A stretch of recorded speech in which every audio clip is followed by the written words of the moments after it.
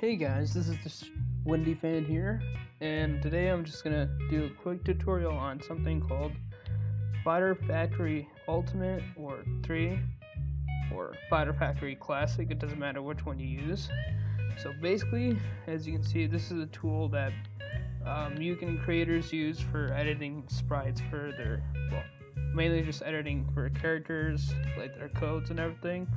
But what's useful for sprite animators like me and many others that we've done is just um, use these for getting sprites of Mugen characters and getting like effects and sounds. So here I'll teach you like in general just how to use it, get get sprites from any Mugen character you want, and then just um, get sounds and effects and whatever you need. And first of all, you need to download Fighter Factory. So let's Google that shit. Fighter Factory 3 or Ultimate, whatever you want to do. And right here, you can go to this link. If it loads, okay. Blah blah blah blah. Bam. Download whichever one you need to have, whether whether you're using Windows 32-bit or 64-bit or Linux whatever you need to do. And after you download it, it's going to be a .rar file, so you want to extract it to a folder. And you don't want to separate the actual application from anything, from the actual files. So like if, if you see I have a one whole folder for my extraction that has all the little folders or files that the application needs along with the application itself. And so now I'm going to teach you just in general how to get characters, where to get them, and stuff. One good site, like, well, besides being Fighters Guild, of course, would be um, a site like Mugen Archive. They have a bunch of characters, and it's always being updated. But there are some issues nowadays that with downloading the characters like as you can see they're trying to boost activity in the forum. So then lurkers that can't really download characters but um yeah so let's go here. And let's say I wanted to get like a Dragon Ball Z character so let's see. Okay most of these are crap but like let's go to the good ones. Uh let's see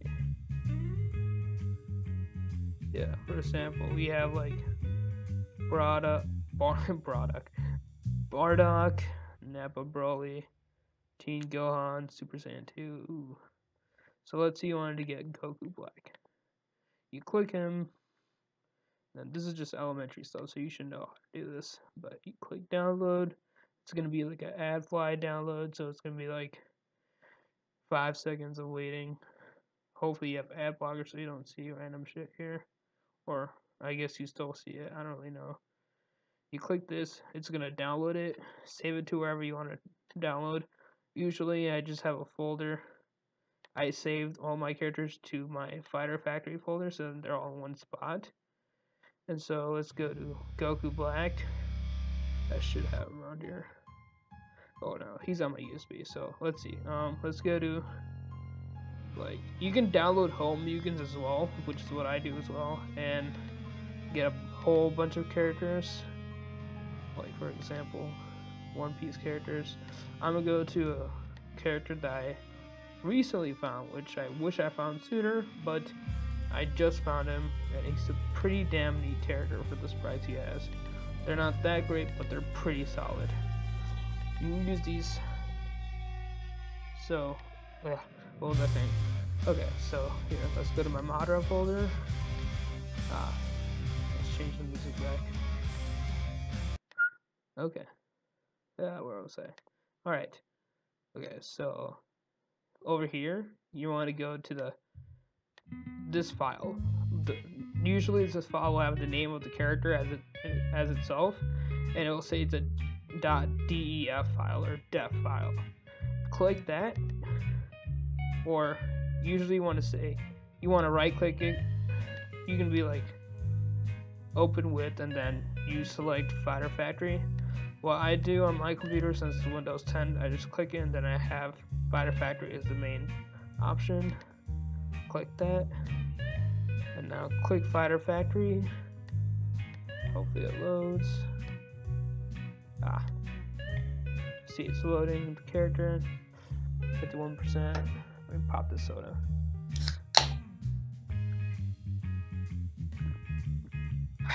okay. So you see this is like the description of the character right here. We're in the definitions tab. You want to go to the sprites tab.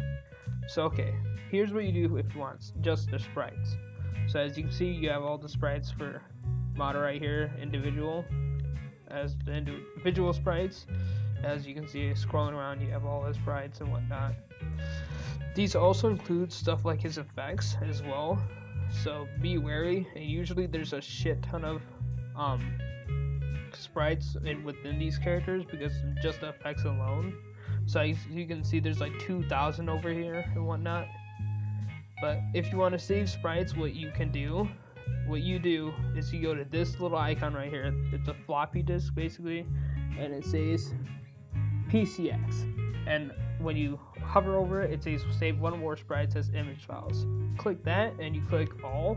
You can click current if you just want one specific sprite that you're on, like this one right here. But what I usually do is just click all, press OK, and then you go to your folder. Usually I make my own folder of the character.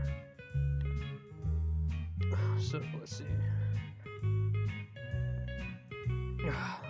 New folder. Madara sprites. Then you can just save as like Madara Uchiha. And they'll be saved as like when you save it, they'll just save as like Madara Uchiha 1 dash 1. And they'll save it as like the sequences for the sprites. So like if there's a run sequence, it's gonna be like Madara D Madara Uchiha 3 1, Madara Uchiha 3 dash 2, and etc. Save that. It's gonna take a while to save all those. This sprite, this character has a shit ton of sprites, so I'm probably gonna delete it right afterwards because I don't need it right now.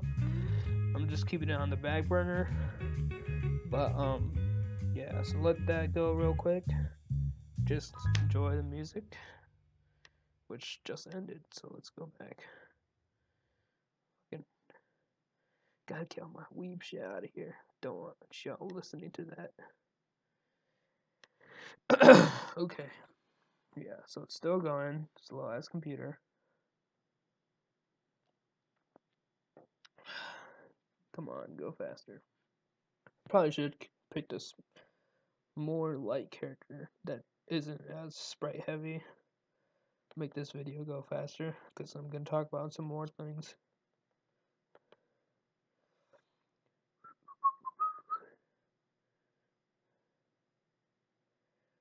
Almost there. 10, 9, 8% left. Come on. Come on, baby. Work. Twerk. Okay. Okay, so it's done, right? Now you go to your folder. You go to. Let's see, where did I save it? I saved it in just Fighter Factory alone. Then you go to your folder. And as you can see, it saved all the sprites as it is and it has the effects. What you usually want to do just to save space on your computer is you want to you can just delete the effects like the PNGs of all them. That's what I usually do. But yeah, so that's that for just the sprites alone. I'm gonna delete this because I don't need this right now.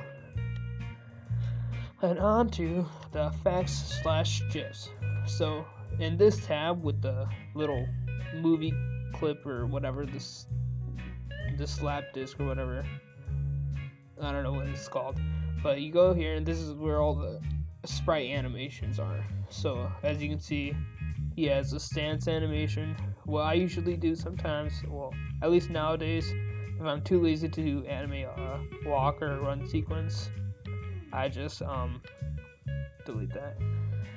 Okay, I just go to the GIF that has his walking sequence, look at it, looks fine to me, then what you can do is you go to this cactus image right here that says save the current animation as an animated GIF when you hover over it. And just like the sprite thing, it's just gonna be like that. You save it to wherever you want. Uh, let's just save it as walk. And now it's gonna save. Sometimes it'll delay a little bit if it's something big, but See it? Yeah, then it's gonna be a GIF.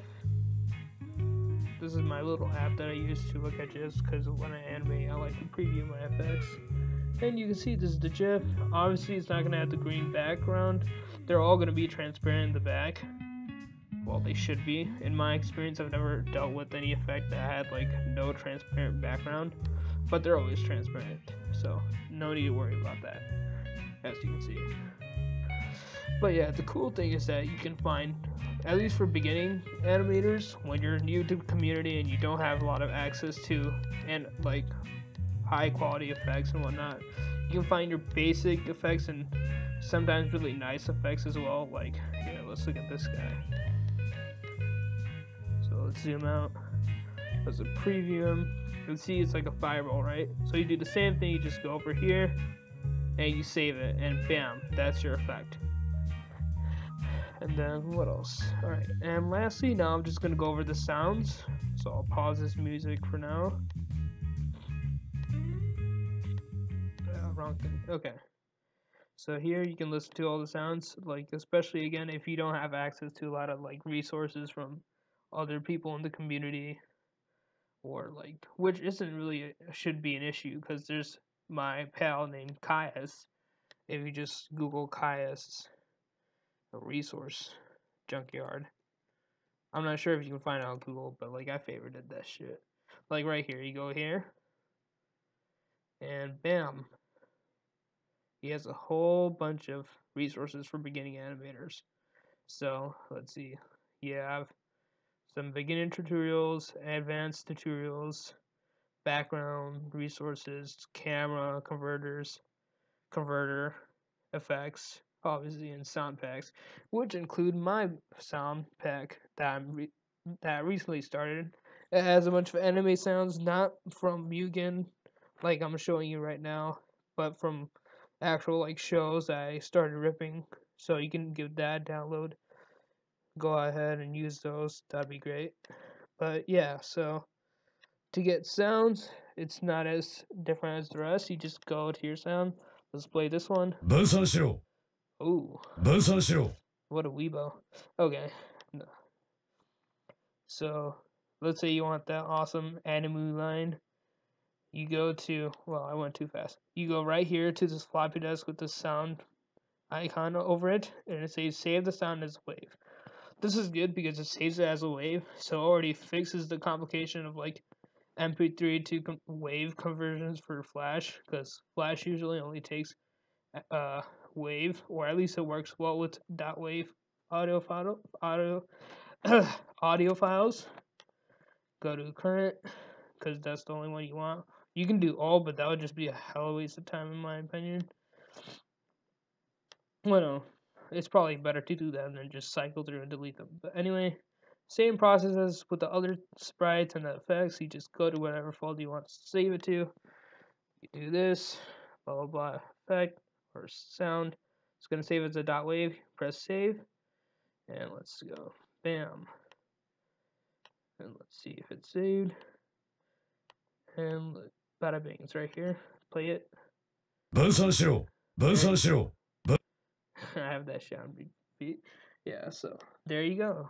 So that's all there is to using Ultimate Fire. Oh, I almost forgot. So if you want to ever save sprites in a different palette, because that's what I've noticed. Okay, these sprites suck for this example, so I'm gonna open a different character. Come on now. Yeah, okay, so we got characters. No, fuck these low res characters. Uh, yeah, here, let's do Shen from Ult- King of Fighters. Shen Wu. Alright, so as you can see, he's a very high detailed. These kind of sprites usually have a lot of uh, different palettes for their sprites, and sometimes you might say you might get a character and it'll have it saved like as this as like they'll have the palette saved as a different palette than the normal palette that's supposed to be, like the original one that it's supposed to be. So what you can do is go to the palette you want. Like let's say I want him to be in this palette, which is his original color set. You go here and to apply that to all the sprites, you go to, or not this, you go to this icon with the two, or this this one right here. I haven't used it in a while. But you go to this last icon that says apply the current palette to the specified sprites. Click that. You do all, and after that, now it's gonna save it. And okay, it's not responding, of course. Okay, so now it's saved it, and now look, it's saved as all the, uh, it saved all the sprites in this palette. Be careful when using this before downloading effects though, because then if you try to go to effect, look like this, it's going to be uh, not in the original color, and it's going to look ugly. So you might want to save effects of characters before you go ahead and change this palette. It shouldn't matter, just make sure you don't save the palette when you close the file. Otherwise, that's about it. Thank you guys for watching and have a good time animating.